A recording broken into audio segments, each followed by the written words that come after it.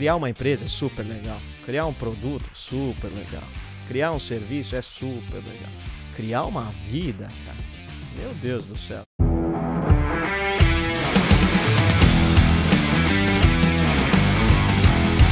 Fala galera, sejam bem-vindos a mais um episódio aqui dos Extremos. Aqui ao meu lado, meu nome é Alfredo Soares. Aqui ao meu lado, meu sócio, kitesurfista, modelo nas horas vagas da reserva, comedor de banoffee oficial do G4, Bruno Nadon. Fala, Alfredo. Prazer estar aqui com você de novo. Você tá bem? Tô bem, e você? Tá tudo bem? tá tudo ótimo. Tem alguma novidade pra me contar? Cara, a novidade é que a gente tá com um grande empresário aqui do nosso lado. Pessoa sensacional, que tem muita história bacana para contar pra gente hoje. Eu ouvi dizer que ele é o reitor 4.0. Ih, rapaz. Tem ele- um a- reitor moderno, esse reitor é ele. Cara, além de reitor, o cara, olha só, investe em energia renovável. Você lembra do, de um episódio que a gente fez com a doutora Carla? Lembro, lógico. Lembra? Então, lembra que ela contou uma história lá? Que teve um momento que ela quase vendeu a empresa para o maior concorrente dela? Lembro. Então, ele também é um dos sócios dessa empresa. Tá que comprou. Não, não comprou. Aqui tentou comprar. A que tentou tentou comprar. comprar. Só história boa. Bom, recebemos aqui hoje em nosso querido, glorioso, extraordinário podcast ele que é fundador e CEO, né? CEO também. E CEO da faculdade mais sex desse Brasil. Não me levem a, não me levem a mal. Se você tem um filho na época de faculdade, com certeza seu filho deve sonhar e fazer essa faculdade. Ele que estava no grande evento no qual receberam Elon Musk no Brasil. Verdade. Estamos aqui hoje com um cara que tocou em Elon Musk. Sendo assim, nós tocamos em Elon Musk. E pior que eu não tava, não. Tava a turma da Link, mas eu tava lá nos Estados Unidos, cara. Ele que mandou os alunos. É, Mas os alunos mesmo. tocaram Elon Musk, ele tocou os alunos, nós tocaremos ele e Meu nós Deus tocamos Elon. Musk. Álvaro Chocai, in the house. Muito obrigado, Alfredo, Nardon. Que prazer estar aqui com vocês. Puxa, tava, tava devendo essa vinda aqui. Pra mim é. ó, Primeiro, sou um grande admirador de tudo que vocês fazem. E, e segundo, estar aqui com vocês hoje pra gente conversar do que for. Me deixa muito feliz pra começar a semana assim. Boa. E- Muito e, bom. E, e tem muito negócio aqui, né? Vamos fazer um overview pra galera, pra galera entender. Você já foi conselheiro da Odontoclinic e da GD Solar. Não é isso? Deixa eu contar Isso aqui. que eu sou hoje. É, isso que ele é Não, hoje. então, é conselheiro da Odontoclinic e da GD Solar. E também fundou a Tarpon. Investimento.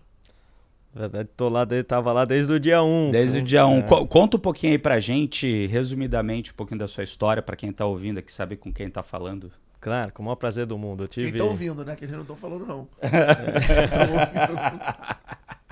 Eu sou um cara que teve uma carteira assinada por oito meses na vida. Meu único emprego foi na Companhia Suzano de Papel e Celulose. Eu fiz administração na GV. E no terceiro ano eu fui trabalhar diretamente com o seu Leon Pfeffer. Na época tinha 92 anos, fundador da Suzano na área financeira. Sensacional. Fiquei lá por oito Que animal, meses. Foi muito legal.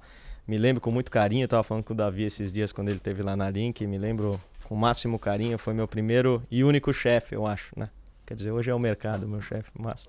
eh, fiz estágio na área de finanças e percebi que ali não era para mim. Eu, eu nunca me vi trabalhando como executivo, apesar de ter um bom exemplo dentro de casa. E tive a sorte de estar fazendo faculdade no dia ou no, no tempo que o mundo estava conhecendo a internet. Então você digitava www. alguma coisa, eh, um universo se abria. Me juntei com três outros caras da faculdade, montamos um, um marketplace de produtos químicos à época, chamado chemhunter.com. E um ano e meio depois, literalmente bateu um fundo internacional na nossa porta, fez uma proposta para comprar aquele fundo. E com 21 anos de idade, eu vendi aquilo por 2,4, 2,5 milhões de dólares cada para cada um de nós. Olhando para trás, quando você tem 21, de, um, 21 anos de idade, é bastante dinheiro. Era como né? se fosse 20 milhões hoje, se puder. É, mais ou menos isso aí. Ah. Então, com 21 anos, fiz aquela. é, quando a gente fez aquela transação, eu percebi que no empreendedorismo bastava se acertar uma vez. Eu acho que era a grande. Fo- Foi o grande aprendizado ali naquele momento.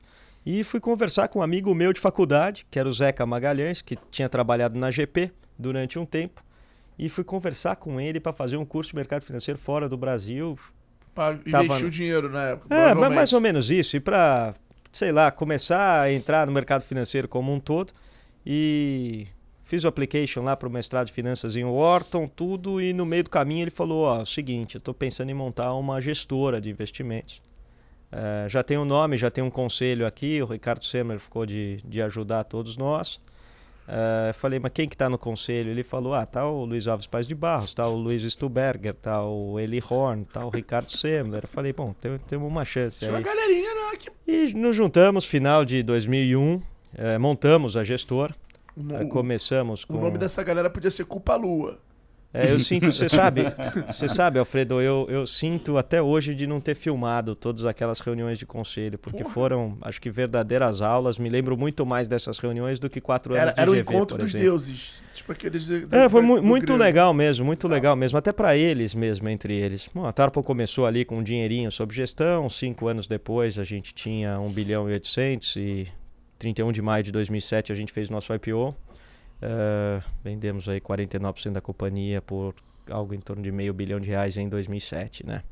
E, e ali acho que foi a grande, o grande turning point da minha vida, porque a partir daquele momento nada foi mais por dinheiro.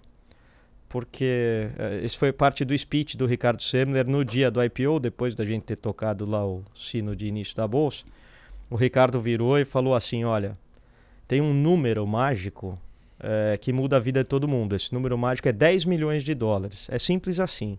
Ele falou: com 10 milhões de dólares você vai comer no mesmo restaurante que o cara de um bilhão.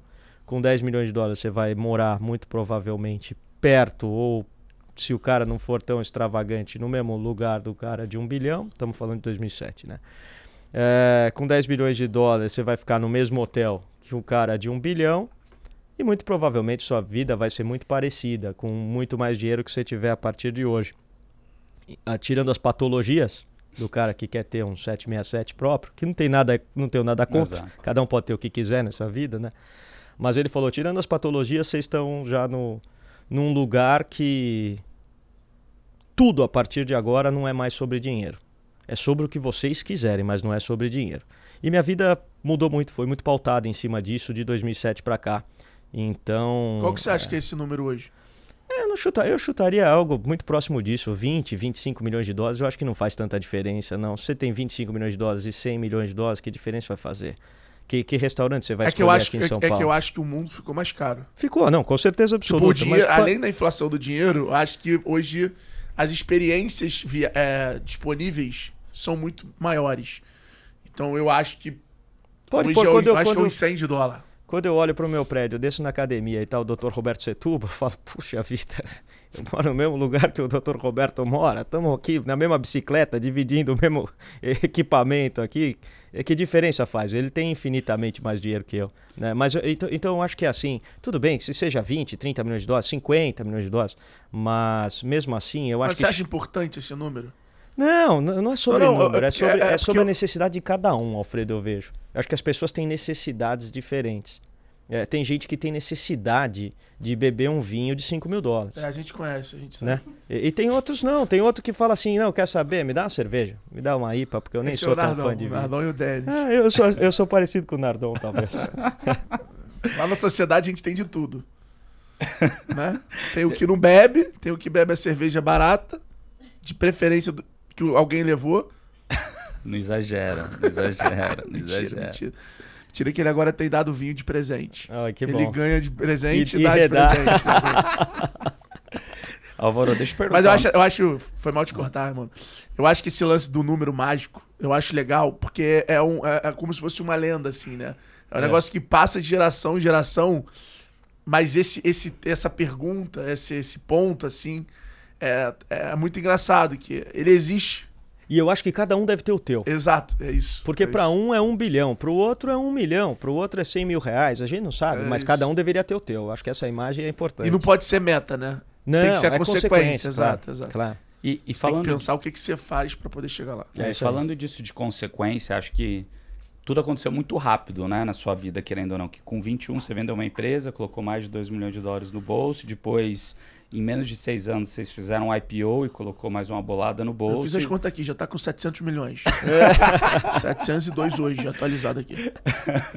e, e, e, e, mais um casamento, 19 anos de casado, um é, filho de 16 anos, um de 14. Exato, e assim, e, e, como para você naquele momento, em 2007, quando você devia ter ali seus 28 anos, talvez mais ou menos pela é conta mesmo. que eu tô fazendo aqui na cabeça. Era exatamente 28. O que, que se passou na sua cabeça quando você falou, opa, não é mais sobre dinheiro? Porque assim, no fim do dia, quando a gente percebe, né, é, principalmente no Brasil, a grande parte da população vive para se alimentar. Uhum. Daí você tem uma outra parte, cara, que consegue sobrar dinheiro no fim do mês, que consegue viver e realizar os sonhos, pagar a família. E daí depois você tem, né, um, talvez um, uma minoria que, putz, graças a Deus está muito parecido com a gente, que bom, né? Uhum. Mas, cara, que todo mundo corre a vida inteira atrás de dinheiro. Porque, assim, não é que todo mundo corre atrás de dinheiro, mas no fim eles entendem que dinheiro é uma maneira de sobreviver. São muito guiadas ao dinheiro, né? É, muito guiadas ao dinheiro. Guiadas ao e, dinheiro. E, e, como foi para você essa passagem de não é mais sobre dinheiro, agora é sobre, putz, o que eu realmente quero. Como que foi essa mudança na sua cabeça? Porque hoje, olhando em retrospectiva, deve ser simples, mas eu acho que naqueles momentos que você estava lá, acho que não foi simples para você falar, opa, não é mais sobre dinheiro. Como que foi essa passagem na sua cabeça? É, é, é muito interessante, né? Porque às vezes tem conceitos, até filosóficos, que a gente sabe ou a gente ouve de uma pessoa e a gente acha bonito, a gente admira aquela frase, aquele, uhum. aquele pedaço de conhecimento como um todo, mas nem sempre a gente tem isso incorporado nas nossas vidas, né? Esse speech do Ricardo Semmer, ele foi no dia do IPO, 31 de maio de 2007. Não foi nesse dia que eu percebi. Eu percebi em 2009, eu tive um dia emblemático na minha vida, desses dias que marcam a sua vida. Em foi 2000... três anos antes. Dois, dois, anos depois. Antes, dois anos depois. depois. Dois anos depois né? Em 2009, a gente teve a brilhante ideia, a gente era um grande acionista de Sadia, a gente teve a brilhante ideia de juntar a Sadia com a Perdigão e fundar a BRF. Né? Uh, eh, BRF era tocada por sete fundos, alguns deles de pensão. A Sadia era tocada pela família. Uh, e as duas companhias eram super, super complementares e todo mundo sabia que poderia virar um monstro e a gente tentou orquestrar isso. Só que isso foi feito é, antes da gente fazer é, o filing na CVM do, do, do, do M&A como um todo. Isso foi feito, pelo menos a primeira tentativa, na Semana Santa de 2009, cara. E, bom, quem conhece M&A de empresa grande sabe como é. Você tem auditoria de um lado, auditoria do outro lado, é, escritório de advocacia de um lado, escritório de advocacia do outro lado, os é tudo feito para um não lado, acontecer. acionistas do outro lado, e é um trabalho sem fim, cara. E aquele negócio de vai documento, volta documento, mexe aqui, para quem não sabe é assim, você recebe aquela, toda aquela documentação que que você vai colocar para a CVM, que seja, e aí você faz todas as suas marcações, manda para o outro lado, o outro lado faz todas as marcações, volta tentando encontrar um denominador comum para fechar a coisa final, né? E a coisa era para ter terminado quinta-feira antes da Páscoa e foi se estendendo. E quinta-feira, sexta, sexta-feira santa, sábado de aleluia. E cara, eu tava, sei lá, cinco dias, seis dias. Eu não, toda a turma da Tarpo, né? Cinco, seis dias, sim. Muito, muito uh, envolvido com aquilo tudo. E trabalhando, trabalhando, trabalhando. Cara, um dia quando eu olhei no relógio era domingo, sete e meia da manhã, cara. Domingo, sete e meia da manhã, eu falei, puta, eu preciso ir pra casa porque Coelhinho vai passar em casa. Eu tinha, na época, o meu filho mais velho tinha três anos e o Dani tinha acabado de nascer, tinha um ano. É, ou nem, nem um ano ainda. E esse dia eu entrei em casa, cara, me lembro exatamente, abrindo a porta de casa, as crianças estavam acordadas, ovo de Páscoa aberto, minha mulher sentada com eles. Eu olhei no chão, cara, vi umas patinhas de, de maisena, assim, uhum. de coelho. Eu olhei, fui até o banheiro, cara, antes de tudo, fui até o banheiro. Olhei para mim, cara, eu tava cabelo oleoso, camisa mega amassada. Eu tava um caco, cara, de ter trabalhado tudo aquilo e de ter perdido um dos principais momentos da vida dos meus filhos, cara. Aquele dia eu olhei no espelho e falei, não é isso que eu quero para mim, cara. Não é isso, porque agora não é. Que diferença vai fazer, cara? Aquele dia eu tomei a decisão de não mais fazer da forma como eu fazia. É, foi quase. A minha saída da Tarpa aconteceu naquele dia. Fiquei até 2012 como conselheiro, até 2019 é, como acionista, até o fechamento de capital. Mas assim, mentalmente, aquele dia eu falei, não é. Não vou trabalhar com dinheiro, fazendo dinheiro, fazendo mais dinheiro e fazendo mais dinheiro. Vou mudar a razão do meu trabalho, cara. E daqui, naquele dia eu tomei a decisão de só fazer investimento em coisa que gerasse alguma coisa boa para o mundo. Por isso a energia renovável, por isso a saúde, por isso a educação, que são os três pilares de investimento que a gente tem hoje. Mas esse foi o dia emblemático. Esse foi o dia que eu falei, não é o dinheiro mais que toca as minhas decisões. É um propósito maior. Como foi a sensação de você chegar lá em casa, ver aquilo acontecendo? O que, que se passou na tua cabeça? É deprimente, cara. É deprimente, porque o, o dinheiro é assim. Uh, o dinheiro, ele, ele, se você não tomar cuidado, tanto pela escassez como pela, pelo excesso, ele vira um limitador de suas vontades, cara. Claro, porra, eu não tenho dinheiro, quero viajar. Pô, não, não, tenho, não tenho dinheiro, não vou viajar. Quero assistir um jogo do Palmeiras, não tenho 400 reais para comprar um ingresso, não vou no jogo do Palmeiras. Ou seja, a falta de dinheiro limita as suas vontades. O excesso, por vezes, também limita as suas vontades. Por quê? Porque você só queria estar tá em casa tranquilo e assistir um o seu filho jogar no, no clube quarta-feira, quatro da tarde. E às vezes fala, pô, tem um monte de reunião, não é isso? É o trabalho que está mandando em mim. Então eu acho que ajustar isso é o mais difícil na, nas nossas vidas, né? E, e a, a, sensação que eu tive, né? Não foi depressão, foi na pesada, mas foi deprimente, cara. Eu olhar para mim é como se você visse quem você é mesmo, sem, sem maquiagem nenhuma, assim, sabe? É, não é tão fácil, não é tão fácil. Nem um pouco. Quando você fez o IPO, deve ter sido um momento sem sombra de dúvidas, né? Eu passei por isso agora no passado.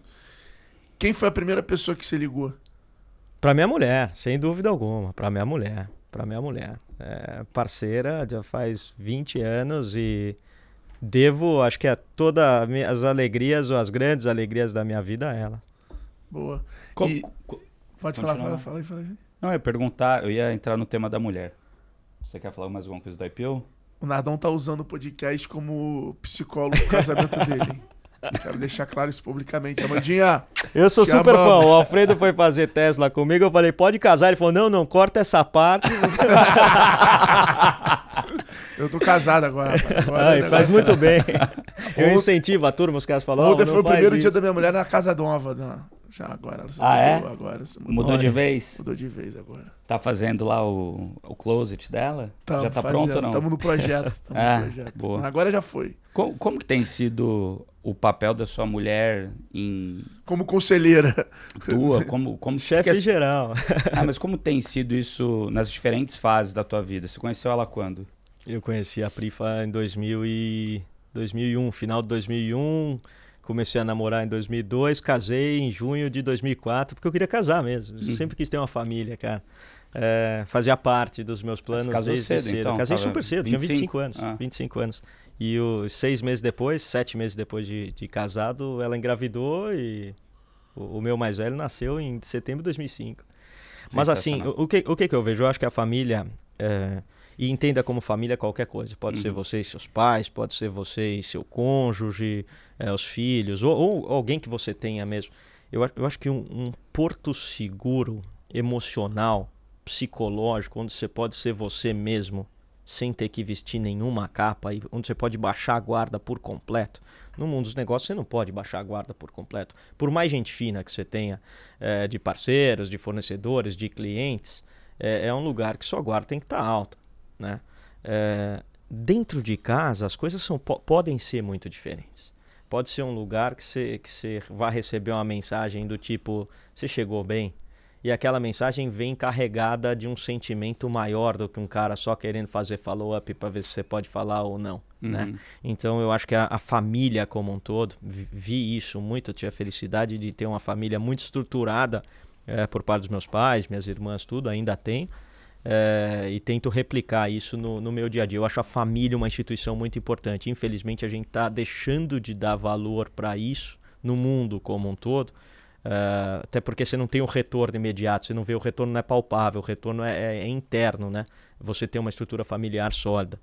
Uh, então eu, eu vejo o papel não só dela, como dos meus filhos, como dos meus pais, o papel da instituição família é fundamental na vida de um homem e de uma mulher. E como que foi nessa época que você estava trabalhando muito o apoio dela para você? Tinha muita cobrança no dia a dia? Não tinha? Ou era mais, eu sei que você tá lá, eu tô aqui cuidando do lado? Como é que era esse equilíbrio? Você não percebe, isso, né? É, é meio no dia isso, a dia. Porque isso veio de você, né? Você falou, opa, preciso dar uma pisada no freio aqui. É, é bom, primeiro ela se casou comigo, ela sabia exatamente o jeito que eu era. Eu sempre fui muito, muito trabalhador. Uhum. Sempre, uhum. sempre eu sou aquele cara que é eu sou o primeiro a chegar, o primeiro a chegar mesmo, assim, não é da boca para fora. Até né? hoje. Até hoje. Até hoje. Eu acordo muito cedo. Acordo às seis da manhã, tomo café com os meus filhos, deixo meus filhos na escola, sete e quinze, estou no escritório, cara.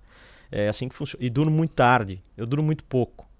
Uh, apesar de dormir bem, sei lá porquê. Não que tem, bom, não né? tem regra, é. É, é só o meu jeito de ser. Mas assim, é, primeiro dentro de casa a gente divide tarefas muito bem. Eu sou aquele pai e marido que participa. Eu lavo louça, cara. Lavo o mel. Não, tenho, não, é, não é brincadeira, não. Eu também. Lavo forçado, mas lavo. eu, acho, eu acho... Às vezes eu acho bom, cara. Às vezes eu acho bom. Mas é, é, Cobrança natural tem. Toda mulher cobra do homem, todo homem cobra da mulher é. alguma coisa, achando que aquilo vá, vá satisfazer. Mas é coisa que se, coisa que se ajeita. Muito bom. Nardão lava a louça tão bem que se der tudo errado, ele vai se cadastrar no Get Ninjas aí. pra lavar a louça. prestar um serviço. É isso aí.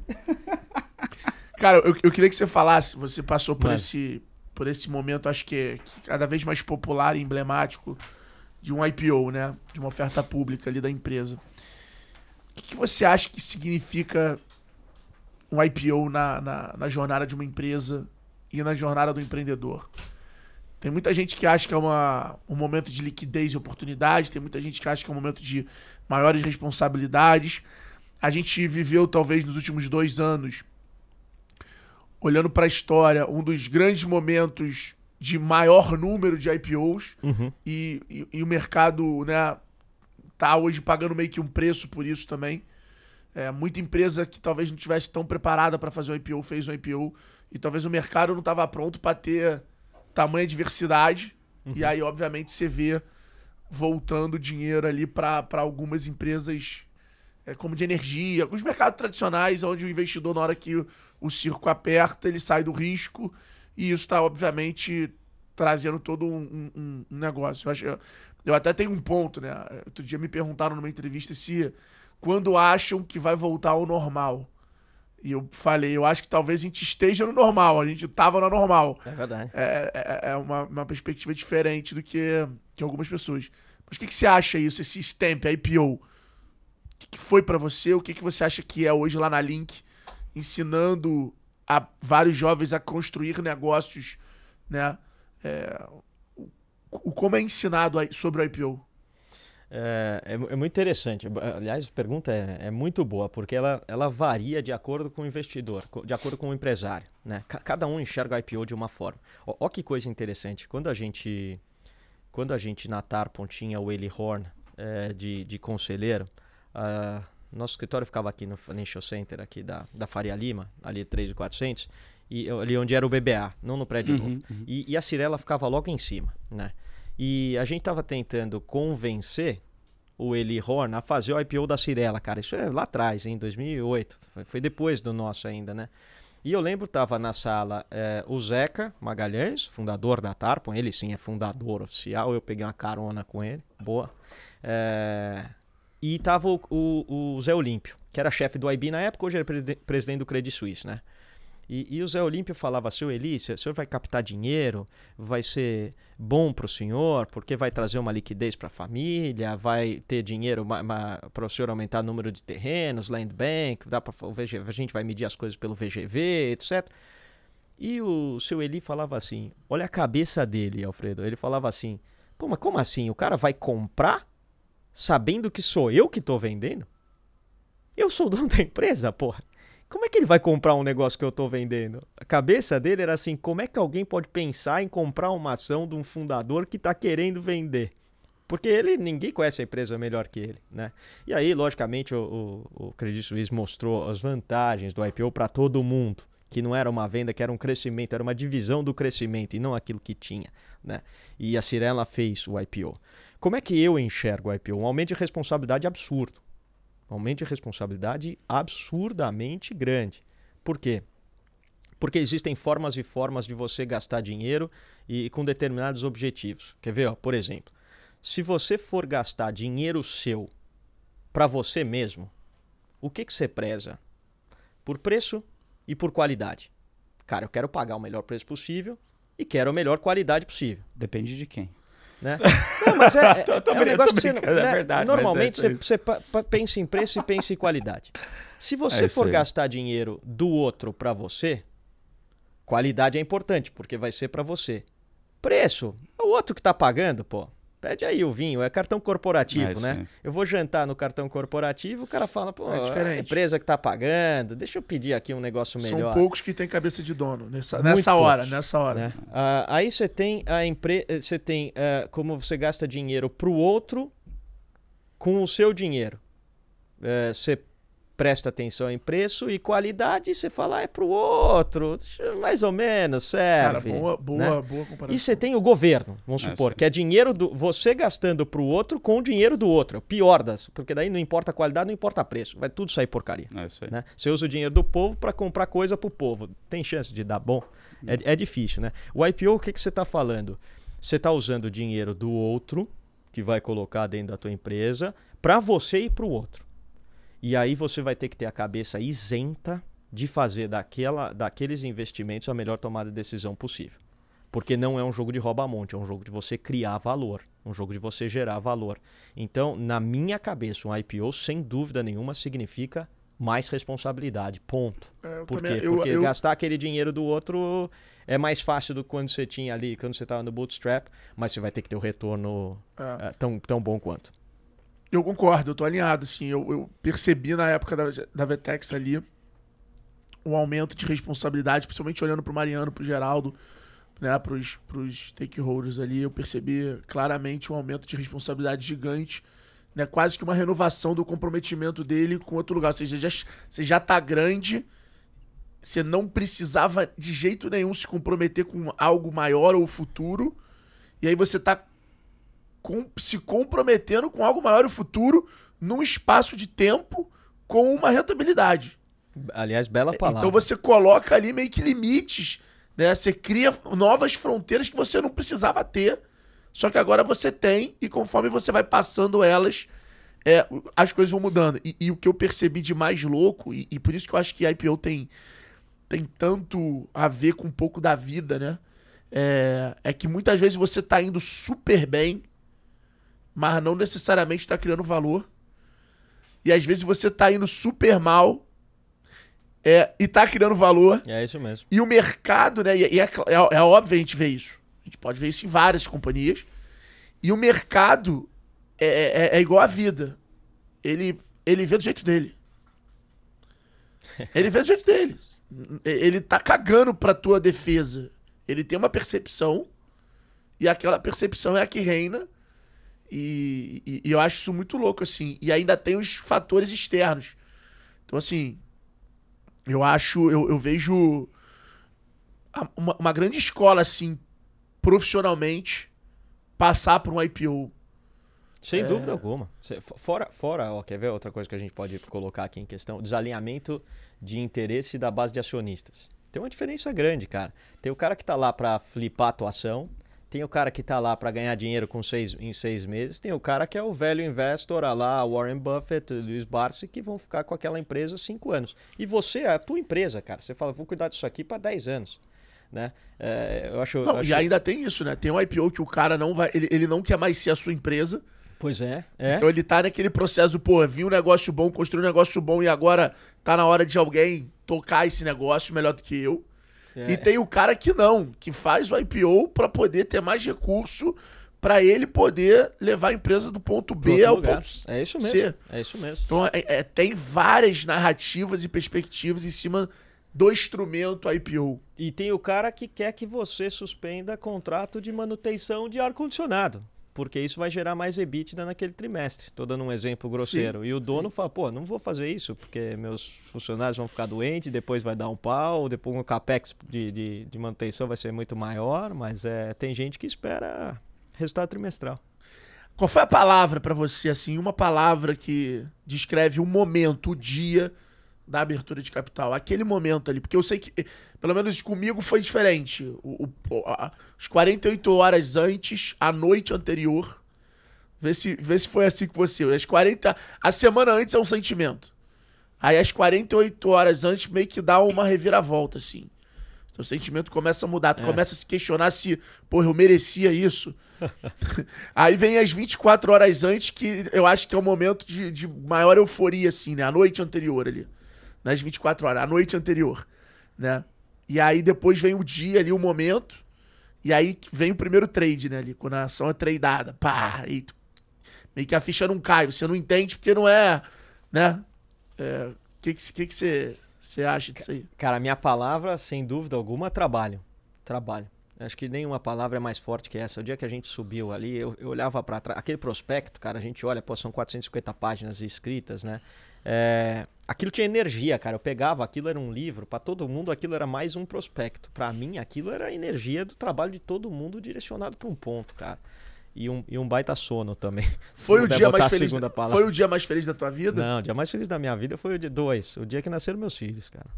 Não passou perto. O dia do IPO foi muito legal. Foi um dia contente. Foi um dia satisfatório. Feliz, cara. E quem, e quem, pra quem você ligou no dia do nascimento dos filhos, a primeira pessoa?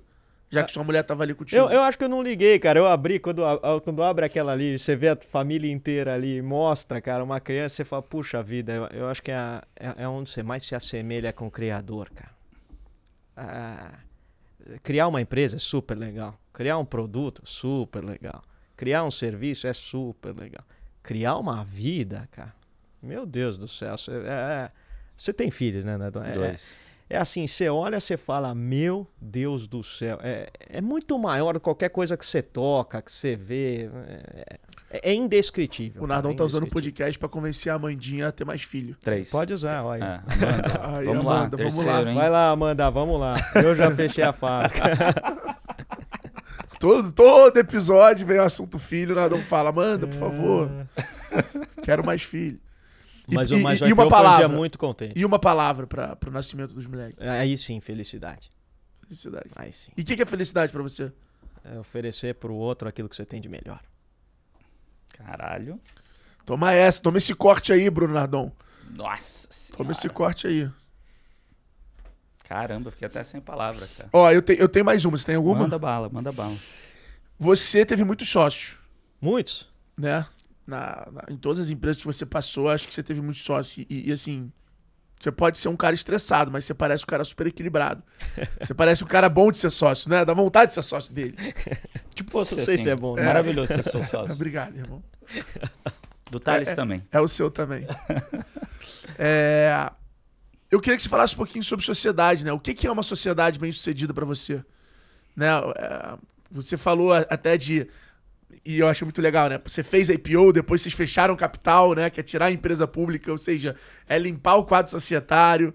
É, na Link eu sei que você tem vários sócios também. E, porra, e aí vem a pergunta: porra, se você tava com tanta grana, tanta liquidez, todo mundo fala de porra, né? Todo mundo pensa em sociedade como, ah, eu tenho que ter um sócio porque é, tem que ser possível. É, para dividir o risco. Pra... E você era um cara super realizado que poderia ter feito o negócio sem sócio. E você tem sócio, buscou sócio.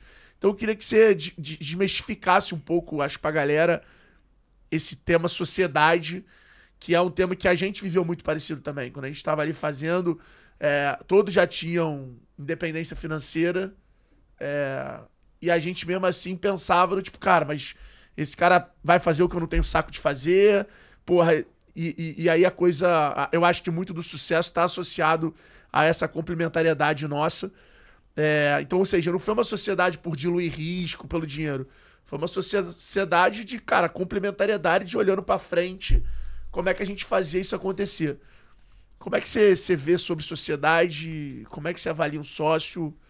Queria que você falasse um pouco sobre o tema. É, Eu acho, eu acho que em- empreender. o Ber- O Bernardinho gosta muito disso, né? Já deve ter falado pra vocês. Ele fala: empreender é um esporte coletivo. A gente Ah, tá- pode, pode chamar. Vamos conseguir uma agenda dele aqui. É, é, empreender é um esporte coletivo. É difícil individualmente você conseguir. O que não quer dizer que você possa ter na figura dos seus executivos ou dos seus conselheiros autoridades diferentes à sua, né? É, eu, eu sempre escolhi o caminho da sociedade, sempre, sempre. Desde a primeira empresa, Tive experiências muito boas, e a, a grande maioria delas foram muito boas, tive experiências ruins também, né? É, mas eu acho assim, eu não sou bom em tudo. Aliás, eu sou ruim em muita coisa, cara. É, perceber isso é importante. Você, você perceber que você não é bom em tudo, você te, te abre muito espaço para você trazer pessoas complementares a você, né? Eu acho que eu sou muito bom de ter ideia, eu acho que eu sou um cara bom, estratégico. É, se você me der qualquer problema, eu vou buscar a solução. Eu sou um cara que reclama quase zero. Essas são as minhas virtudes. Agora, se me pedir para ler um contrato, cara, eu sou um desastre. Se me pedir para fazer um funil comercial, eu sou um desastre, cara. Tecnologia, eu faço o mínimo necessário ali, entendo como um, um gestor deveria entender para tocar uma empresa como um todo, mas não sou um cara profundo em tecnologia. Né? Organização, eu sou uma lástima, cara. Se eu, se eu não me cercasse de pessoas que tivessem essas virtudes, ia ser dureza. Então, então o que, que eu vejo? Se você conseguir, e vocês falam muito isso, sempre vira e mexe que eu vejo o podcast de vocês ou aqueles vídeos do YouTube, isso aparece muito, né? Valores semelhantes, skills complementares, você pode ter um cara ali que pode te complementar dentro da sociedade como um todo. Então, sem dúvida alguma, é isso que eu busco. Claro que a parte de dedicação, hard working é super importante, mas uh, os valores precisam ser muito parecidos, para não dizer iguais, e precisa ser complementar, cara. Hoje os meus sócios, eu olho para o lado, eu falo, todos esses caras fazem o que eles fazem, a, executam a, a su, os seus eh, trabalhos relativos dentro da companhia ou das companhias melhor do que eu executaria na parte deles. Né? E, e, a, e a parte que me cabe, cara, a parte que me cabe, eu faço eu faço meu jogo. Então, eu gosto de olhar muito assim. Eu gosto de olhar muito assim.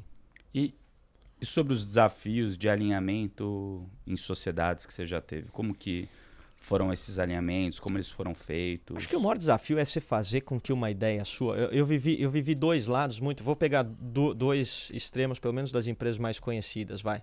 A, a Tarpon, é, eu, eu fui o primeiro funcionário, o primeiro sócio do, do Zeca e fui o segundo maior sócio na época do IPO. Né? É, mas a Tarpon não era a minha ideia, cara.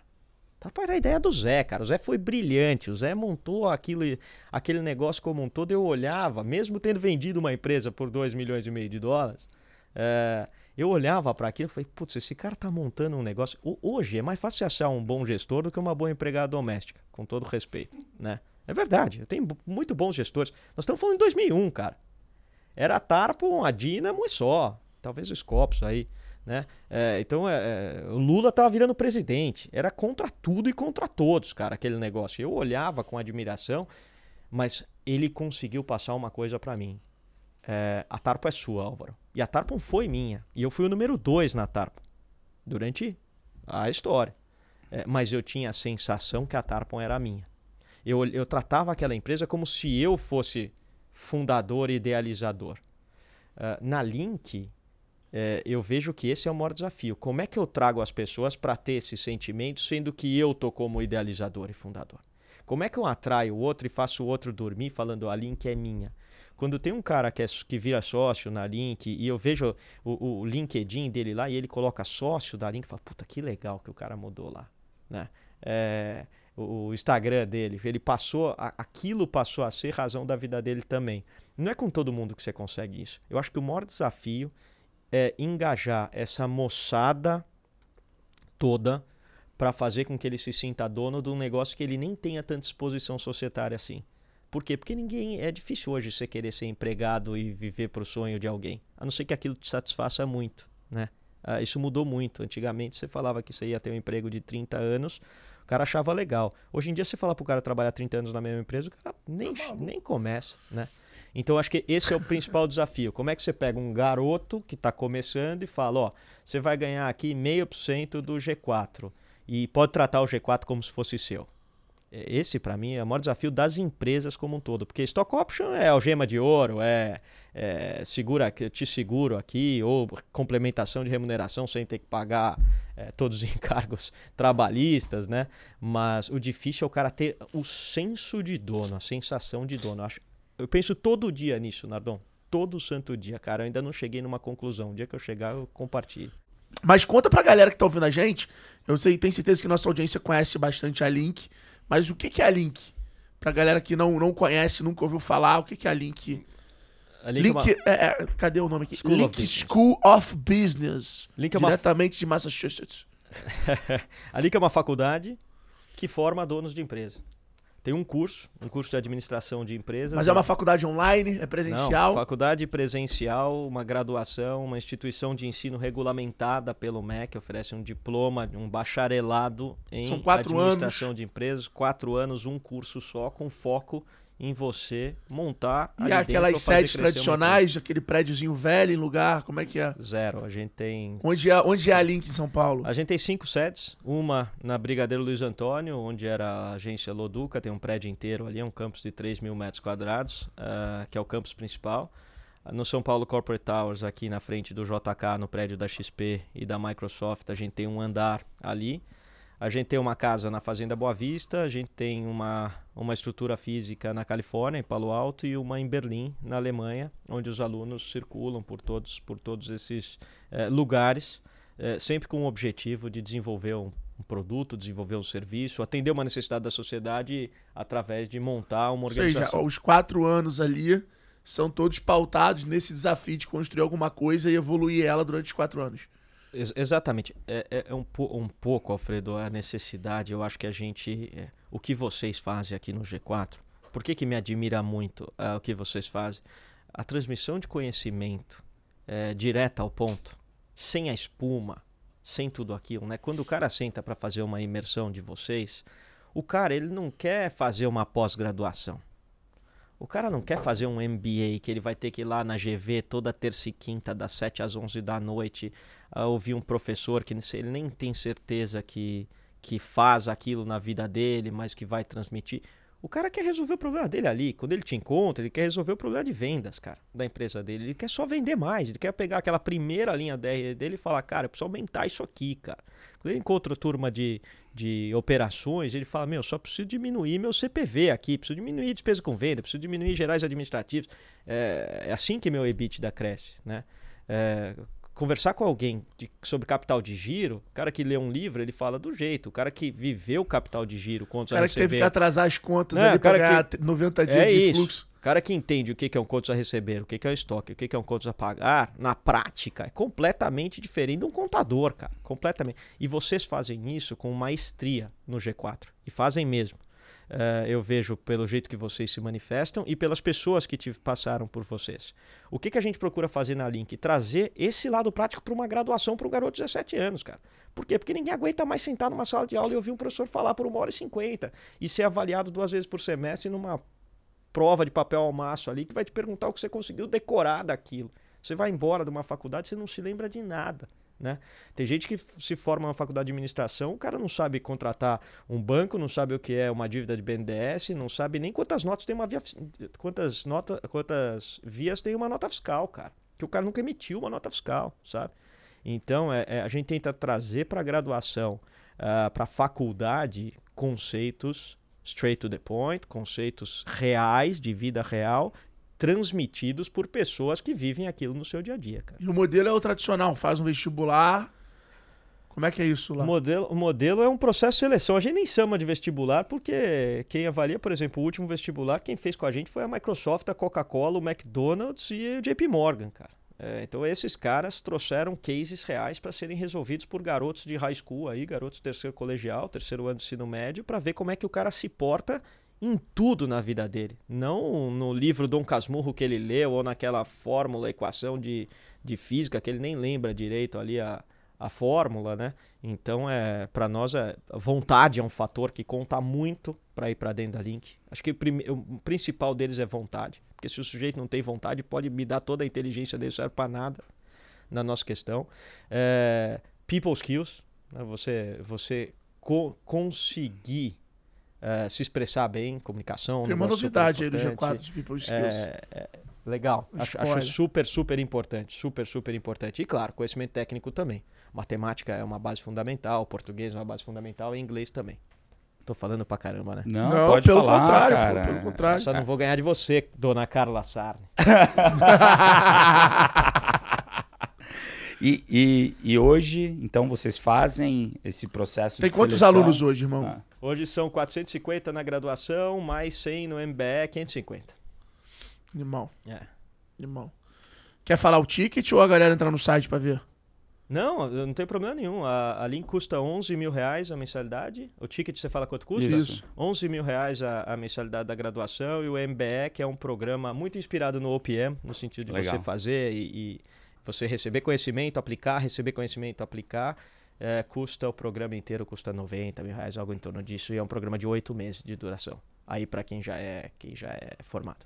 Qual, qual o desafio hoje quando você pega alguém ali que tem 16, 17, 18 anos, né? Tá terminando ali a graduação e você coloca ele, cara, para ver o mundo real, né? Para ir lá e falar, pô, é assim que se monta uma empresa, esses são os desafios, isso daqui é o que você tem que né, ficar atento. Como que você vê esse processo de maturidade ao longo dos anos, né? Ainda mais que talvez vocês estejam aí chegando na primeira turma que vai se formar esse ano ou ano que vem, né? Ano que vem isso. ano que vem. Como que você vê esse processo de maturação desses adolescentes é, é, se tornando talvez empresários ou pelo menos conhecendo mais do mundo, né? Porque no fim do dia essa turma ainda é criança, né?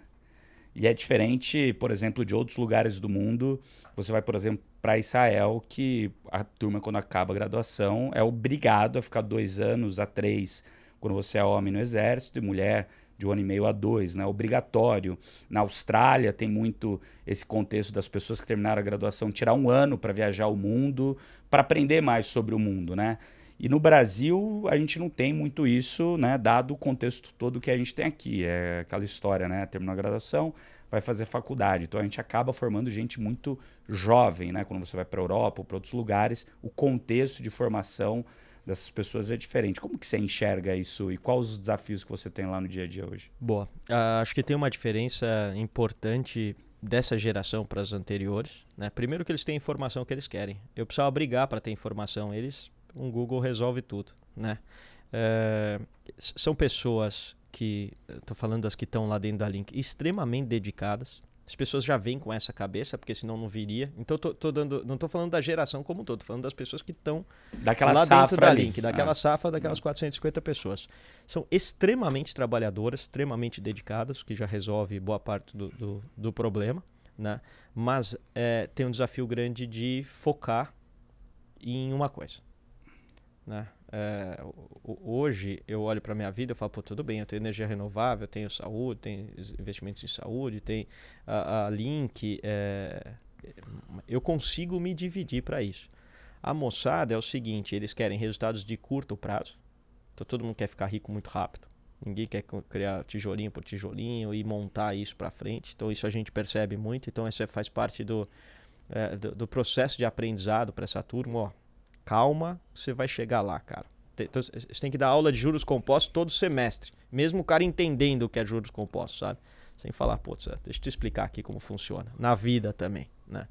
E, e- e focar em uma coisa. Por quê? Porque eles querem uma coisa agora, daqui a pouco eles veem outra coisa melhor, eles, aí eles mudam, aí eles veem alguma coisa lá fora, eles mudam. E a maturidade, esse, esse passar o tempo fora, isso a gente tenta fazer durante a graduação.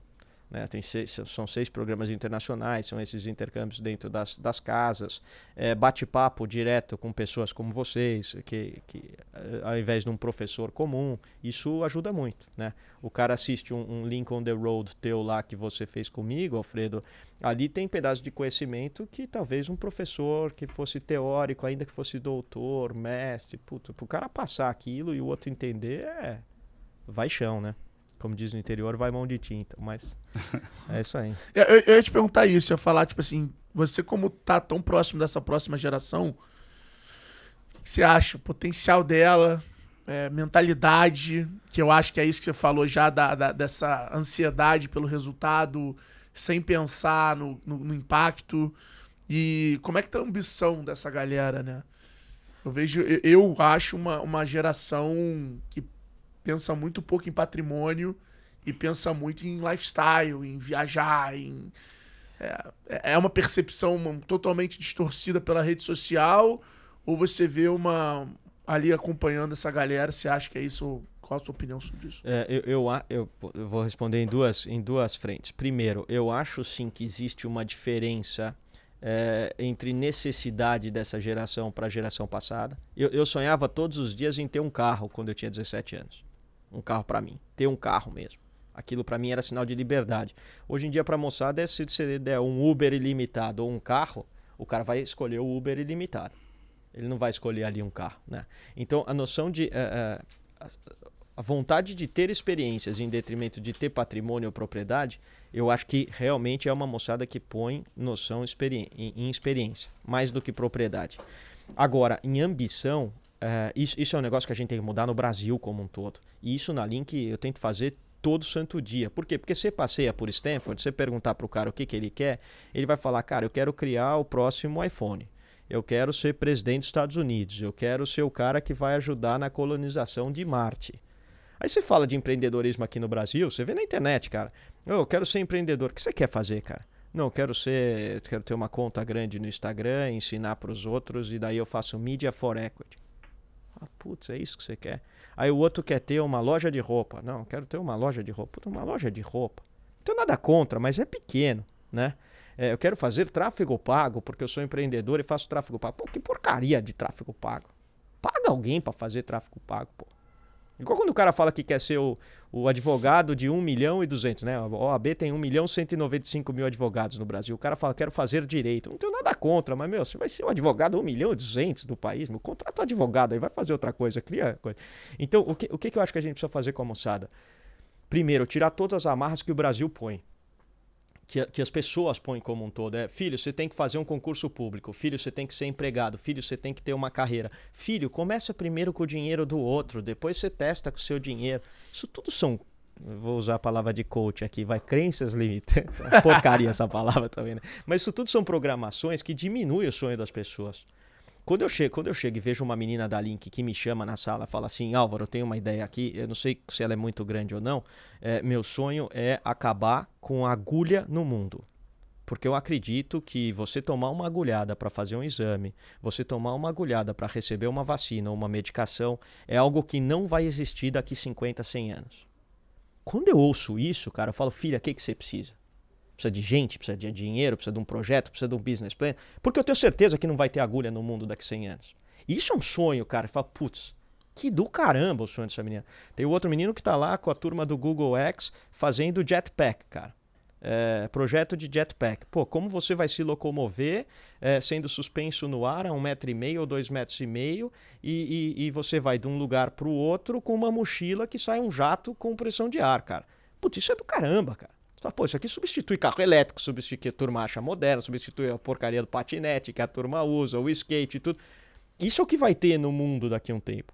Então, quando eu olho essas ideias, eu falo, puxa, além que cumprir o papel de aumentar a grandiosidade de possibilidades que o cara tem, isso gera ambição boa, cara. Boa, boa, boa. Tem, tem, um, tem um grupo Mas de a rede jovens... social jogou contra isso, né? Joga contra porque ela tenta Porque trazer... ela tá lá, então o cara lá... Pô, eu, eu, eu gosto de ver TikTok pra cacete. e aí eu vejo lá, porra... Não, tem muita coisa legal que se aprende lá.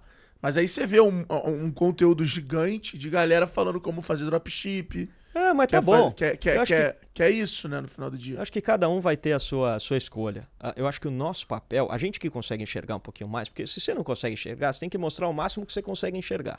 Né? É, eu, eu vejo assim, pelo menos. Não que a gente seja super visionários, mas minimamente você enxerga que para um jovem dropshipping tem um tamanho e o cara fazer um projeto dentro de healthcare tem um outro tamanho. Né? Dependendo do projeto. Então, eu, eu acho que mostrar isso, falar para o cara, seja ambicioso aí. E ambição não tem nada a ver com pisar nos outros, não tem nada a ver com você ser egoísta, tem a ver com o tamanho dos seus sonhos, cara. Isso E, e, isso muda pra valer, cara, a sociedade. e Álvaro, é, e faz todo sentido isso que você está falando. Agora, a gente tem o contexto no Brasil para que isso seja possível? Não, tem que lutar, cara. Tem que É, lutar. e- é- essa é Tem a pergunta. fazer- Como que a gente consegue ajudar Ah, a primeiro fazer que, que, eu- isso aconteça? fazendo nossa parte, cara. Eu já, já percebi isso. E agora eu incentivo a moçada a pensar como Israel. Você deu como Israel como exemplo. O Brasil, eh, se eu não me engano, po- po- posso estar errado, mas acho que eu não estou. O PIB do Brasil acho que é 1,4 trilhão de dólares. É exatamente do mesmo tamanho do PIB da Flórida. Tem gente que fala assim: puxa vida, por que, que a Amazon não vem para o Brasil? Por que, que a Tesla não vem para o Brasil? Porque o Brasil é o tamanho da Flórida, economicamente falando. Né? É surreal a gente pensar que a gente gera isso, com todos os problemas que a gente tem. Né?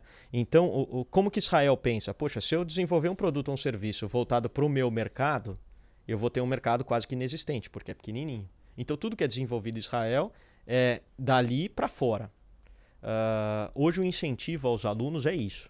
Olha, ob objetivo aqui: empresa que tem a receita em dólar, custo em real. Podem pensar ideias.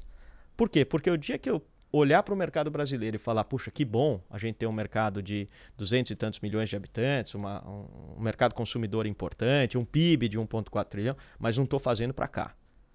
Estou é, fazendo para o mundo inteiro e o mercado brasileiro pode beber disso. Essa é uma cultura que a gente não tem no Perfeito. Brasil. Por quê? Porque o cara do agro não fala nem inglês, pô. O cara, para ele, o longe é São Paulo. Sendo que a gente deveria ter todos os produtos, serviços de agronegócio para o mundo inteiro, né? Então, eu acho que pensar mundo é um desafio. Por isso que eu bato na tecla do inglês pra caramba, por isso que eu bato na tecla de estar tá na Alemanha, de estar tá em Palo Alto, de estar tá é, é, presencialmente nesses lugares. Por quê? Porque os nossos empreendedores, os nossos empresários não devem nada para nenhum empreendedor, empresário do mundo. O que a gente não tem é apoio, nem político, nem regulatório, nem nada. Vai para eu abrir uma faculdade demorei 14 meses, cara. No MEC. 14 meses para abrir uma escola, cara. Isso é um processo para você abrir. Fala, puxa vida, é. Não é fácil. Eu tenho uma pergunta. Manda. Eu tenho a última aqui. Manda. Se você tivesse um superpoder para acabar com um problema do mundo, qual problema você acabaria? Puxa vida, que pergunta, hein? É... Eu acho que eu não. Eu, eu acho que eu não acabaria com o problema. Eu acho que. Eu não acho que o mundo está errado. Acho que o mundo tá do jeito que precisa estar. Tá. É, eu, tenho, eu tenho uma confiança de que existe uma justiça maior que deixa tudo aqui é, do jeito que é certo. Então não, acabaria com o problema, não instalaria o dedo para isso. Agora, para ampliar a consciência das pessoas, isso eu faria. Eu acho que um, um, um ser humano de consciência mais ampliada ele começa a perceber algo muito diferente da vida do seu dia a dia, né? A, a, gente tem a, a ilusão de que a grande felicidade, de que o bem-estar da vida está nos, nos prazeres que os cinco sentidos proporcionam. Né? E quando a gente olha para as pessoas que têm capacidade de comprar tudo aquilo que elas querem, e você olha o nível de felicidade dessas pessoas, você fala, não tá aí. Se você é minimamente inteligente, você olha e fala, tudo bem, o cara tá comendo o atum é, de 200 dólares, 100 gramas, o cara tá raspando a trufa em cima do macarrão dele. Não é mais feliz por causa disso. Não é mais feliz por causa disso. E o que o ser humano quer, no final das contas, é a felicidade. Ele acha que esse é um caminho. E esse faz parte do caminho. Mas eu vejo que esse caminho passa necessariamente por você perceber que você não está sozinho por você perceber que precisa ser em conjunto. Você comer um filé mignon no rodeio e passar um menininho lá fora pedindo dinheiro porque ele não tem o que comer, cara, não tem como. Você pode ser o coração mais duro da vida. Não tem como você não pensar, cara, que isso não tá certo. Não tem como. É... Acho que, acho que no começo você conseguir sair um pouquinho de você mesmo e olhar que existe uma sociedade em volta, que existem pessoas que se tiverem as mesmas oportunidades que você teve, que se tiverem condições um pouco diferentes uh, do que elas têm, uh, o mundo seria um lugar melhor. Então eu acho que essa ampliação de consciência, de trazer para as pessoas a sensação de que ela está num lugar que é um coletivo e não um individual, isso eu faria. E isso só dá para fazer a gente se oferecendo como exemplo, oferecendo uh, tudo aquilo que a gente sabe e não dá para cobrar nada de ninguém. Então é é fazendo nossa parte a cada dia. É por isso que eu mexo com educação, é por isso que eu tenho um prazer enorme de acordar todas as manhãs e dormir quando eu cumpro isso de forma bastante satisfatória. Esse é onde eu pauto minha vida. Animal. Muito bom. Mais alguma? Não. Animal. A última mensagem, ótima mensagem de fechamento. É, eu ia falar isso, eu falar, Álvaro, se você quiser concluir, deixar alguma consideração, mas essa aí ele já deu mais um corte aí pra galera.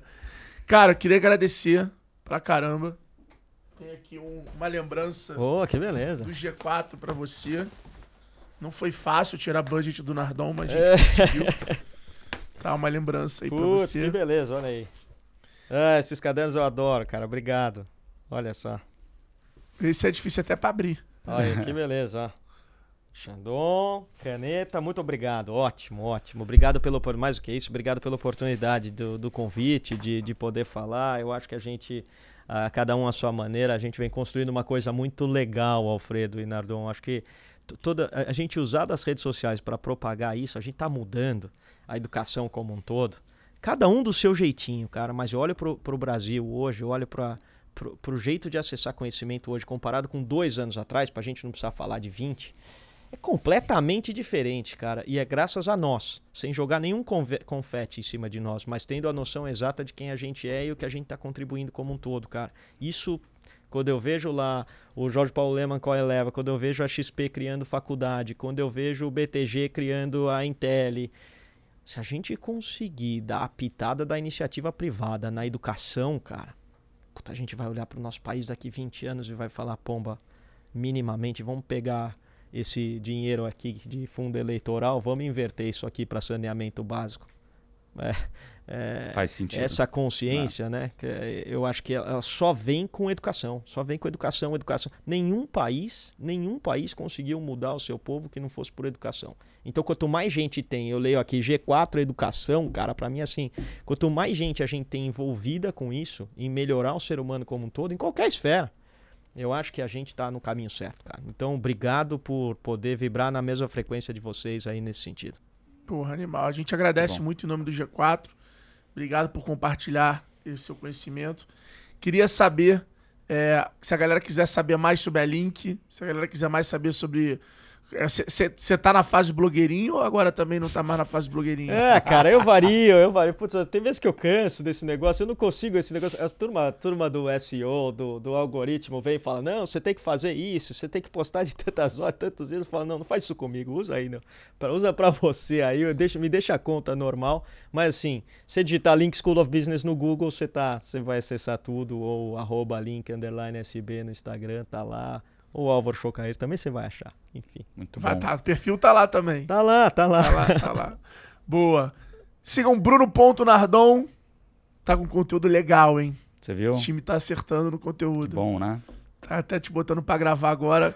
Você agora não só mais lê conteúdo no perfil do Nardon, você agora assiste também. E você? E o meu é Alfredo Soares. E não esquece de seguir o podcast oficial do o Instagram oficial do podcast, que é o Extremos Podcast by G4. É isso mesmo, é essa frase, mas lá você encontra todos os cortes. Tamo junto, a gente se vê no próximo episódio. Hoje a gente falou com um cara que está revolucionando a formação de jovens protagonistas do Brasil.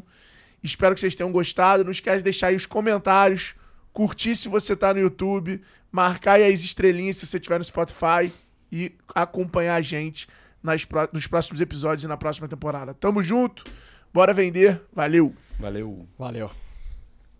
Muito bom, muito obrigado, hein?